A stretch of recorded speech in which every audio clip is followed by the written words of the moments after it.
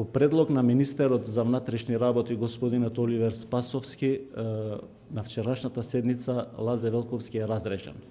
На истата седница немаше предлози или нови имиња за директор на бирото. Се очекуваме во некоја од наредните седници да има, истовремено после таква одлука ќе биде информирана јавноста.